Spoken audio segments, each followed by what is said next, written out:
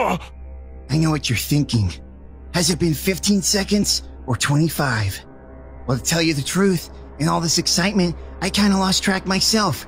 Now you could run over here, report this body, tell them all it was me, and win the game for yourself. But if my cooldown's done, I'll blow your head clean off. So you gotta ask yourself one question. Do I feel lucky? Well, do ya? Punk.